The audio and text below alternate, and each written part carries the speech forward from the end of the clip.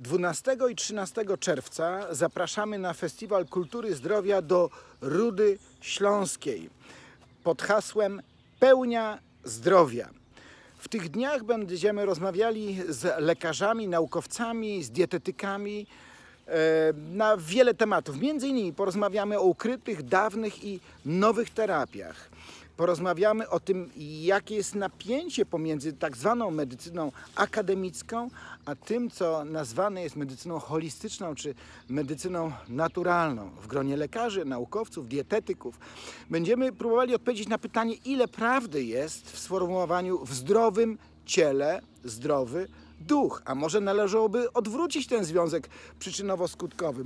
Może, należałoby zapytać, czy to aby nie nasza kondycja duchowa, to e, ile mamy w sobie pokoju ducha i tej pełni ducha wpływa na stan naszego organizmu.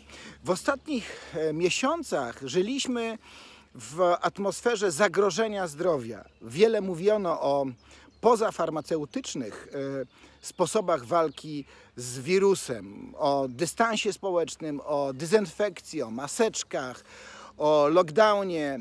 Natomiast dlaczego nie mówiono w ogóle, albo tak niewiele uwagi poświęcono, jak wzmocnić naszą naturalną odporność?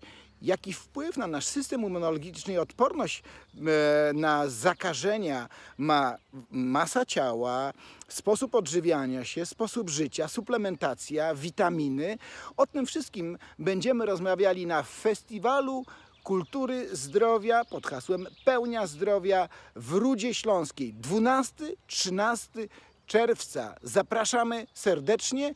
Więcej informacji na www pelniazdrowia.info